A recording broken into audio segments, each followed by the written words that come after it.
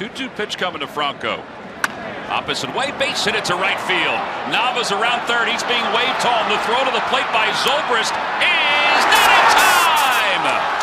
And Nava scores, and the Phils take a 1-0 lead.